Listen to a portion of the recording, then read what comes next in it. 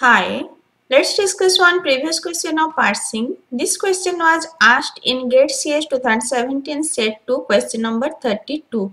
Consider the following expression grammar G. One expression grammar is given. Which of the following grammar is not left recursive but equivalent to G? Let's analyze one by one option and eliminate some option.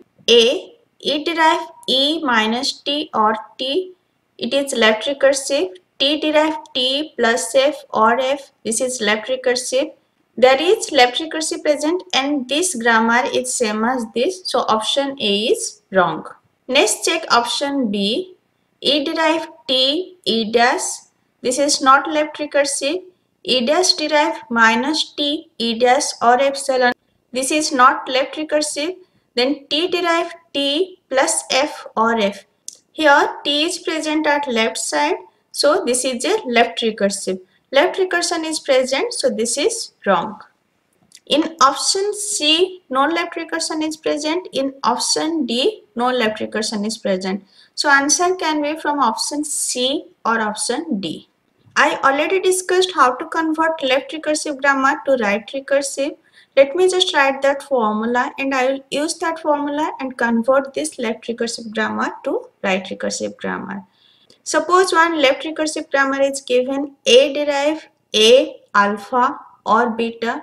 So what will be regular expression for this? It will be beta alpha Kleene closure. From this will generate any number of alpha. Then we can end this by beta. From A will generate A alpha then a alpha. From a you can generate beta. So beta alpha Kleene closure. How will write right recursive grammar for this? We'll write a derive beta a dash a dash is a new variable. From beta we'll generate this beta. Then from a dash we try to generate alpha Kleene closure so a dash derive alpha a dash or epsilon from A dash we will derive alpha A dash, then alpha A dash, then epsilon. So it will generate any number of alpha and before that beta is given. So this is the right recursive grammar for same left recursive grammar. So let me use this formula and convert this left recursive grammar to right recursive grammar. Now in this production, E derive E minus T or T. Is it left recursive? Yes, as E is present left side. So this E will be A, then minus T will be alpha and T will be beta. I found alpha, beta and A. Let me write in this format. So E derive what is beta? Beta is T. Then A dash. A dash is some new variable. I am writing X for new variable as in option X is used. Next from x I will generate this part. So x derive what is alpha? Alpha is minus t. x derive minus t x or epsilon. This x is for a dash. This minus t is for alpha. Next check this production. t derive t plus f or f. Is this left recursive? Yes, t is present at left side. This is left recursive.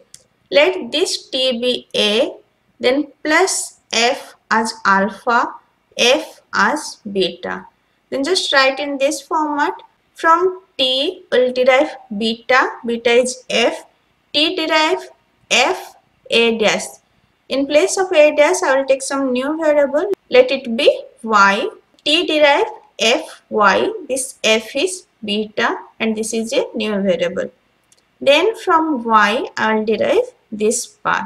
So from y I will derive plus f plus f is alpha then y or epsilon. Next production f derive start bracket e end bracket or id. Is this left recursive? No as f is not present at RHS side. So write directly this production f derive start bracket e end bracket id. Now just check which option is similar to this. It is option C. So answer will be option C. If you know how to convert left recursive grammar to right recursive grammar, this formula you can easily solve this question. If this lecture is helpful for you, please like and subscribe. Thank you.